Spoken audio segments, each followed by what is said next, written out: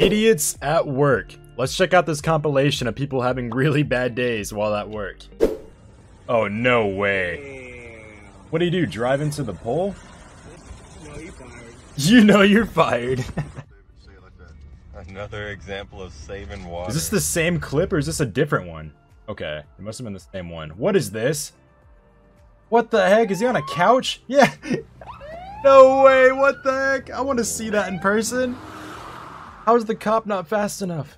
Let's get him. Oh no, what's this gonna be? What? Okay, I'm impressed. That is weird though. Who thinks to do that? That blew my mind, not gonna lie. Okay, this is just ridiculous. What on earth? oh my god, and the tires came off.